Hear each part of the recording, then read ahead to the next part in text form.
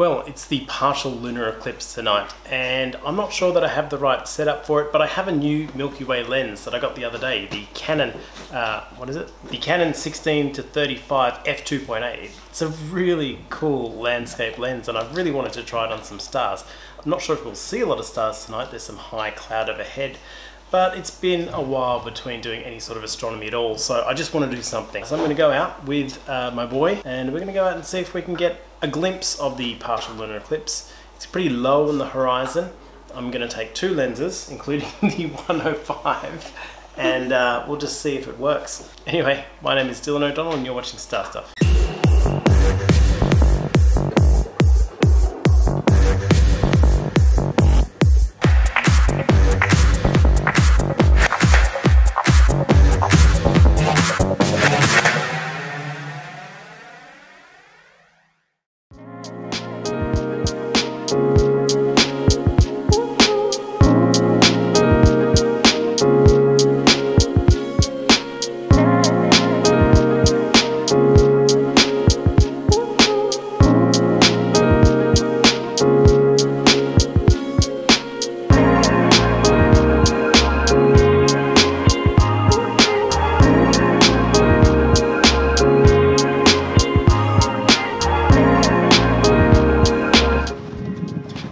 Heading up to my favourite spot, the uh, easternmost cape of Australia.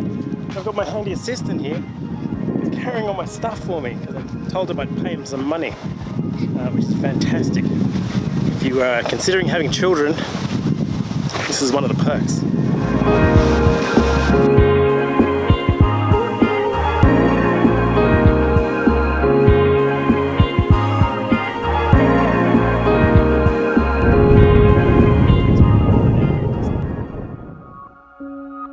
At this point, the wind drowned out everything I was trying to say, which is a shame because it was the most profound, insightful few sentences of my entire life. But like a Buddhist sand mandala, it was lost to the impermanence of time. As the bloody beaver gently rose, I felt a sense of connection at that moment, not only with my boy and the solar system, but the people around me. A shared excitement as we all bore witness to this interplanetary syzygy. The beauty of this particular lunar eclipse was how it drifted across time zones over hours, and this shared experience was felt from North America to Australia at the same moment, where the internet also allowed us to connect with everybody else where clouds had hampered their view, and truly rub it in their faces. Apart from this, it was just nice to do some astrophotography casually. No big equipment, no tracking mount, just my trusty 6D Mark II and its 105mm kit lens. And although the video on my iPhone has become better than the expensive DSLR for the most part, it was nice to know in cases like this, the bigger glass will always win. Size really does matter. I think there's something in that for all of us.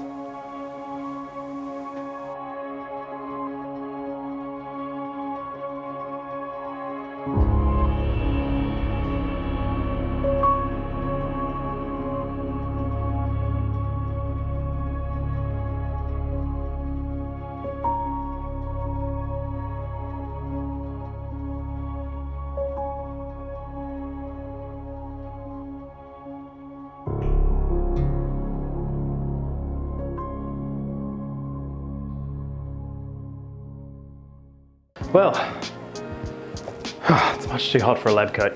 Hang on. Well, it's been declared an official monsoon this summer here in Australia, so I'm unlikely to see any kind of clear skies for a while, which means there's probably going to be some lunar work, some solar work, and all of that easy peasy stuff I can do. Anyway, I'm becoming one of those astronomers that just talks about the weather all the time, and I don't want to do that. We've just had this batch of lunar eclipses, you know, one, two, three in a row at sort of different parts of the world, but we were lucky here in Australia. I've seen three very recently, which has been great. So I think there'll be a break in lunar eclipses for a while.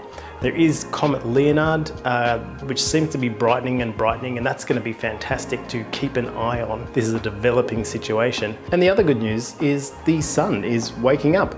We are coming out of the solar minimum. It's not going to mean non-stop action 24-7, but these days of zero sunspots are coming to an end. Hello. Oh.